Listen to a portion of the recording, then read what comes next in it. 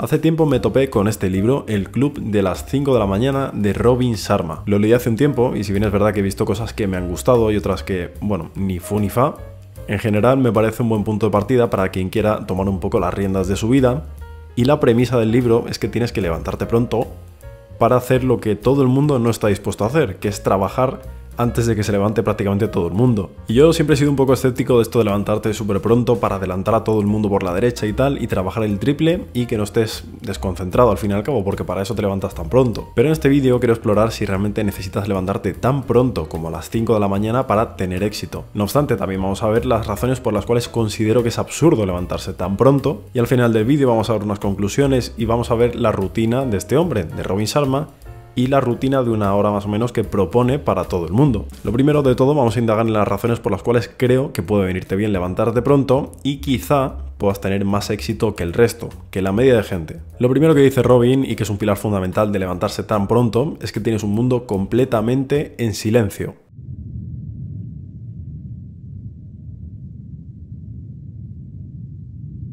No tienes distracciones ni siquiera en el mundo digital y esto te permite enfocarte de una forma que en muy pocas ocasiones vas a poder. Sí que es verdad que es un sacrificio bastante grande levantarte tan pronto, pero tu estado de enfoque va a ser como nunca. La segunda razón por la que esta aproximación no es del todo mala es que estás dispuesto a hacer lo que muchísima gente, de hecho la mayoría de gente, no está dispuesta a hacer. Sinceramente, ¿cuántos de los que estáis viendo esto habéis probado alguna vez a levantaros a las 5 de la mañana por voluntad propia, no porque tengáis un trabajo que os obligue a levantaros a esa hora, para trabajar en vuestros proyectos o lo que os apasiona. Esto es muy difícil y el propio Robin Sharma nos dice que para conseguir el resultado de esa gente que está en el 5% de personas exitosas, tienes que hacer lo que el 95% no está dispuesto a hacer. Y la verdad que yendo por aquí los tiros, eh, no está nada mal esta aproximación. Realmente estás forjando esa disciplina y esa fuerza de voluntad que la mayoría de gente no tiene. Y esto, os hablo por experiencia, os va a abrir muchísimas puertas y un montón de oportunidades que no habríais pensado nunca. Para mí a nivel personal creo que la disciplina es una de las cosas que deberíais desarrollar cuanto antes.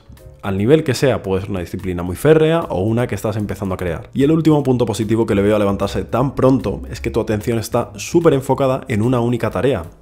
Que bueno, al final es muy fácil perderse en el día a día con todos los impulsos y cosas que tiran de nosotros. Esto lo hablo mucho y sobre todo hablo de distracciones, de redes sociales que tiran mucho de nosotros y nuestra atención está completamente fragmentada en pequeños trocitos. Obviamente nuestro cerebro piensa en cosas todo el rato, pero una cosa es pensar algo y continuar trabajando y otra pensar algo y ponerte a hacer otra cosa completamente distinta o darte una vuelta por Twitter. A esas horas si haces el esfuerzo consciente de ponerte a trabajar verás que estás en una zona y en un estado de flow completamente idílicos. Esto es una maravilla precisamente porque no son horas, lo que se suele decir de es que no son horas de ponerse a trabajar.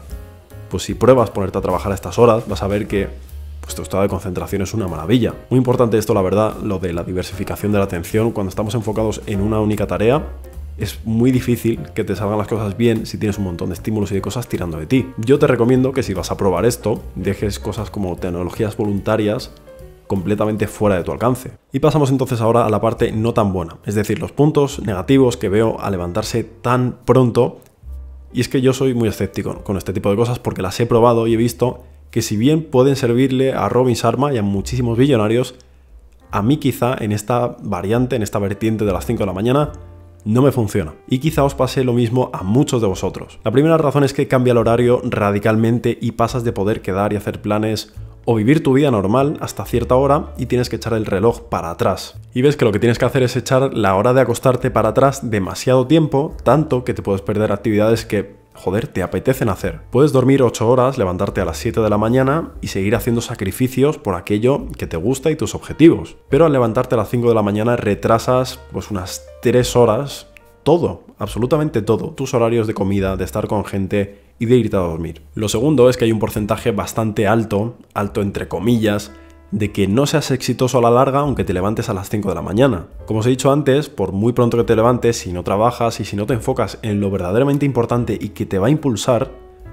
el éxito como tal pues no va a llegar. Es una base importante y que desarrolla disciplina y otras habilidades que pueden venirte muy bien para conseguir el éxito, pero hay gente que aún así, que currándoselo día tras día, no tiene éxito, éxito en sus propios términos. Y el último punto negativo que le veo a esto, y que tiene mucho que ver con el primero y el segundo, es que si no tienes ninguna dirección, objetivos y demás, estás trabajando en vano y además tu calidad de vida va a empeorar bastante, sobre todo si no haces los sacrificios que se requieren para modificar tu horario y dormir 8 horas, que personalmente lo veo el mínimo recomendado. Se suele decir que son 7, pero si haces ejercicio todos los días de forma regular, si trabajas de forma intensa y enfocada, vas a necesitar 8. Vas a necesitar 8 porque si te pones a dormir 7, muy probablemente quieras echarte una siesta, que es lo que me ha pasado a mí estos meses. Así que sí, hasta aquí los puntos negativos de esto de levantarse a las 5 de la mañana, de unirse al club de las 5 de la mañana.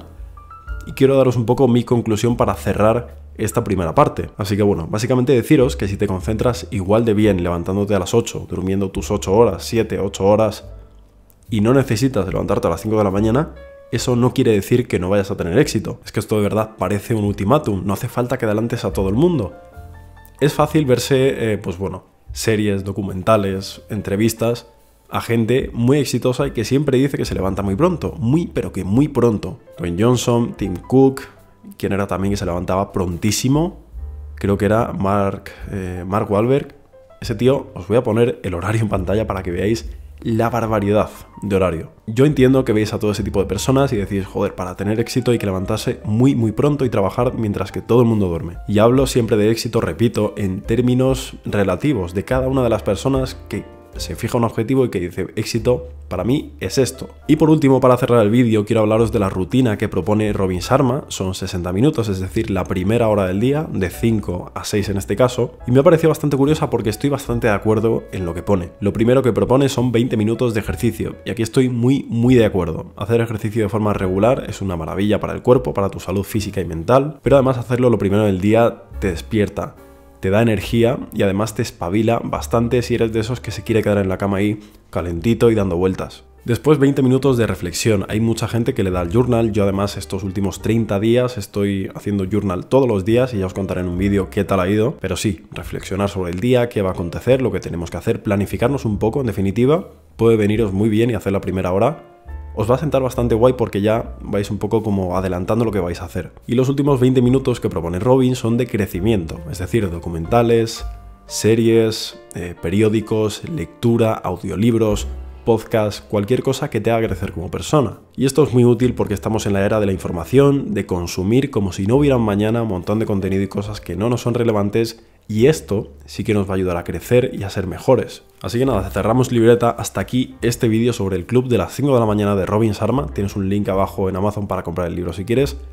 Está bien, a mí no me disgusta. Creo que es un libro con pensamientos bastante potentes. Y puede que te sirva si quieres probar el tema de las 5 de la mañana. Oye, todo para ti, te pones una alarma y prueba a ver qué tal y, y, me cuentas en comentarios. Así que nada, como siempre, gracias a todos los que veis los vídeos, que os quedáis hasta el final, que me parece increíble. Y como siempre, os espero en el siguiente. Chao.